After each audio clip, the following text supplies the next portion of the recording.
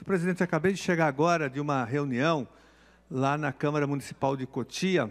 Estava acompanhando uma, uma manifestação, um encontro dos professores, dos servidores públicos da Prefeitura de Cotia, que estavam em greve né, contra o não cumprimento da data base salarial, contra a aprovação de um projeto de lei na Câmara Municipal, um projeto que foi encaminhado, logicamente, pelo prefeito, que reduziu os benefícios dos professores e de todos os servidores. Lá eles conseguiram algo eh, que eu nunca imaginei que fosse presenciar, senhor deputado Ulisses. Eles conseguiram acabar com o quinquênio, com a licença-prêmio, com a sexta parte, com esses benefícios que foram conquistados historicamente pelos servidores em todo o Brasil. E ali eles aprovaram na Câmara Municipal um projeto de lei reduzindo, retirando direitos dos trabalhadores, principalmente dos servidores da educação. Eu fiquei chocado com isso, porque é, é a primeira prefeitura que faz isso. Algumas tentaram. Me lembro que eu, a prefeitura de Poá tentou, teve greve, houve uma resistência dos servidores, a prefeitura teve que recuar. Cubatão também tentou. Santos, várias prefeituras, né? E nós sabemos que essa política do ajuste fiscal, ela penaliza os servidores, ela elege os servidores como bode expiatório da crise econômica, da crise social e atacam os servidores nos seus direitos, nos seus benefícios. Então, a situação lá é grave em Cotia, senhor presidente. Primeiro que o o prefeito lá, como o governo do estado, não respeita a data base salarial. Lá os servidores estão há mais de quatro anos sem reposição das perdas inflacionárias. Não bastando isso, o prefeito ainda de Cotia encaminha um projeto de lei que retira esses direitos conquistados pelos trabalhadores. Sexta parte, quinquênio, é, licença-prêmio, um absurdo. Ou seja, as carreiras dos servidores ficam estagnadas e congeladas, sem evolução funcional, sem progressão. Um absurdo, afrontando, inclusive, principalmente na área da educação, afrontando o Plano Nacional de Educação, que é uma lei federal importante, que tem em uma das suas metas, são 20 metas, e numa delas está muito claro ali que tem que investir na carreira, tem carreira de de, de, do magistério, ela tem que ter investimento, tem que ter progressão funcional, e lá eles estão na contramão, estão detonando, acabando com a carreira do magistério, dos profissionais da educação. Então, é uma situação muito grave. Daí eu ouvi vários relatos, muitas denúncias, muitas denúncias contra a atual administração, deputados e deputadas lá em Cotia, muitas denúncias que nós vamos aqui já tomar algumas providências. Eu vou fazer aqui requerimentos de informação ao Tribunal de Contas do Estado de São Paulo, porque não é possível, né?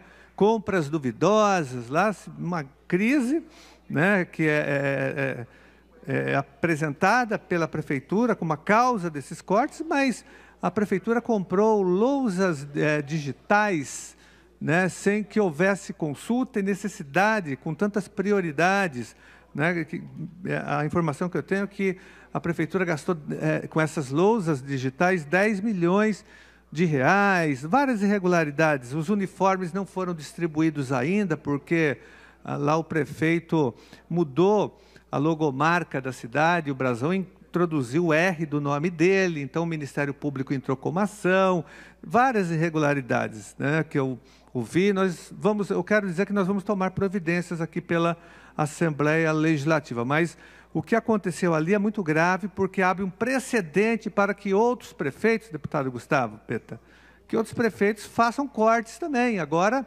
qualquer crise atacam os servidores. É o que faz aqui o governo estadual, que fez o Geraldo Alckmin, quando ele congelou os salários por quatro anos também dos servidores.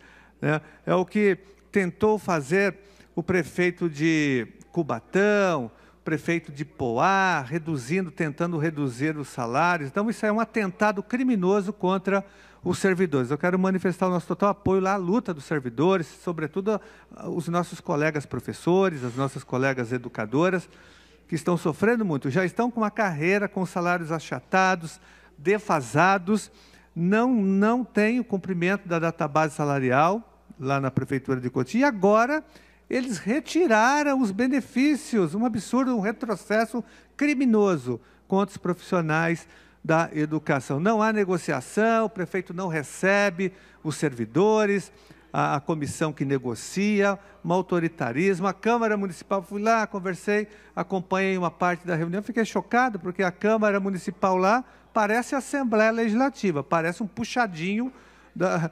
Aqui eu falo que a Assembleia Legislativa é um puxadinho do Palácio dos Bandeirantes. Lá me parece que a Câmara Municipal de Cotia é um puxadinho exatamente da Prefeitura, né, que que aprovou, inclusive, o projeto reduzindo esses direitos, eh, retirando os direitos dos servidores. Imagina uma Câmara Municipal inteira, me parece que não tem ninguém de oposição lá, todo mundo é prefeito.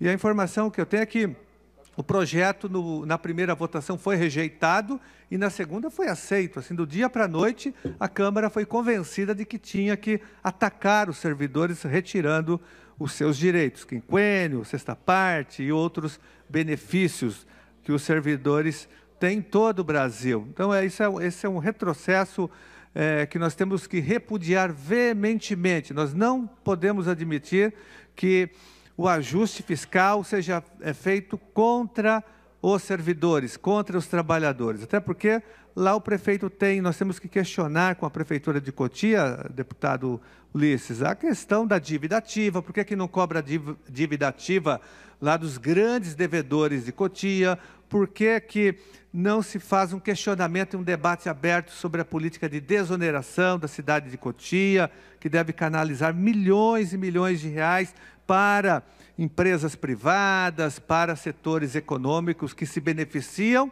que se beneficiam do dinheiro público e não, e não dão nada em troca para a cidade de Cotia, como acontece aqui no estado de São Paulo. Então, nós vamos tomar providências aqui e eu peço o apoio de todos os deputados aqui para que se coloquem em defesa dos nossos servidores da Prefeitura de Cotia. Muito obrigado, senhor presidente.